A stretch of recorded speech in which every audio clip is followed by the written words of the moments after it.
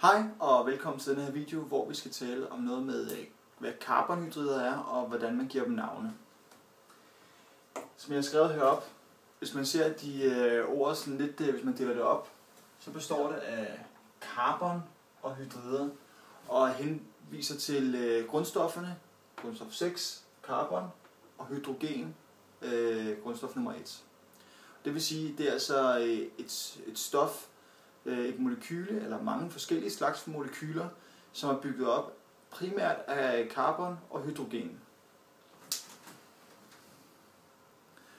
Og øh, til det her er selvfølgelig også øh, godt at nævne, at øh, når vi nu taler om det her, så er det fordi, at der er rigtig mange ting i øh, organisk kemi, som handler om øh, carbon og hydrogen, og blandt andet også, øh, når, vi skal, når vi taler om sæbe, når vi taler om øh, fedt, når vi taler om alkohol, så er det netop, at man kan gå ind og tale om øh, carbonhydrider, og det er også derfor, at det er godt at vide, hvorfor det er, man kalder for eksempel etanol for etanol. Og derfor så har vi lige det her, øh, det her emne her om carbonhydrider og deres navne.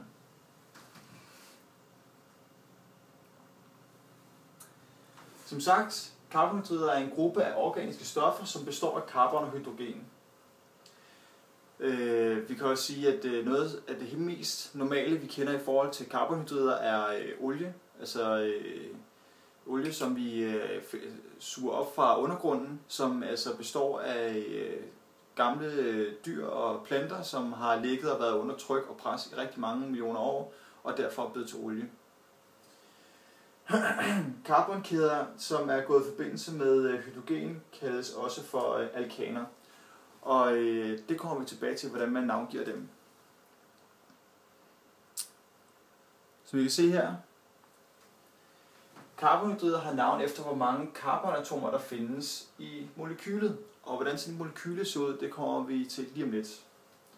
Hvis carbon kun har knyttet sig til hydrogen, så øh, ender navnet altid på A'en. Altså hvis carbon kun er knyttet til hydrogen, så er det en alkan, og derfor så giver man den navnet efter, hvor mange carbonatomer er der i kæden, og øh, hvis der så kun er hydrogen knyttet til carbon, så slutter navnet så på A'en, så nummeret og A'en bagefter. For eksempel på øh, 7 på græsk, og det er sådan man tæller i kemi, det er hept, så et molekyle, øh, der har øh, syv carbonatomer og kun er knyttet til hydrogen, er en blanding af hept og an. Man kan sige, her er et eksempel på, hvordan sådan en molekyl ser ud. 1, 2, 3, 4, 5, 6, 7. Kun hydrogen knyttet til, øh, til carbonkæden. Heptan. Okay? Så det er sådan, man laver, øh, det er sådan, man navngiver.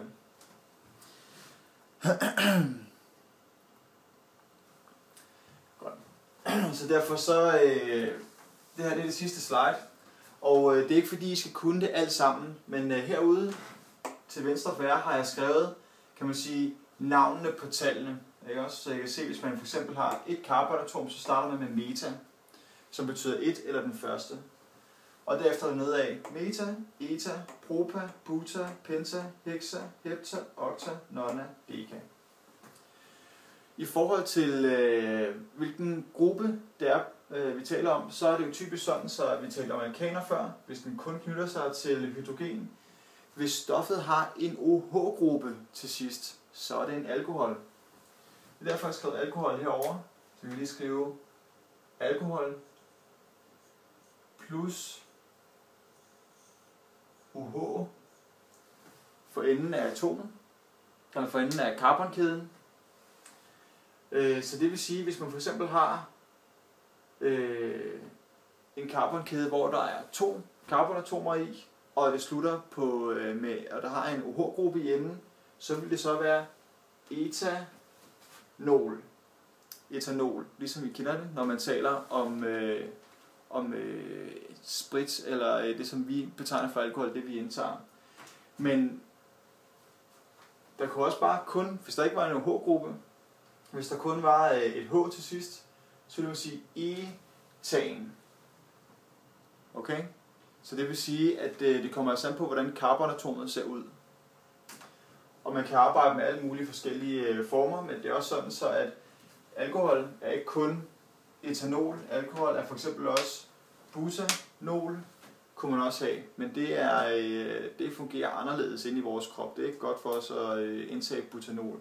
Vi skal sørge for, at det er det, der hedder etanol, som vi indtager, hvis vi i hvert fald har lyst til at være fulde på den måde, som vi, som vi kender øh, fra øl, vin og spiritus og alle de andre sjove ting, som øh, man kan drikke. Jeps. Det her det var en kort introduktion til navne med øh, hensyn til karbonhydrater.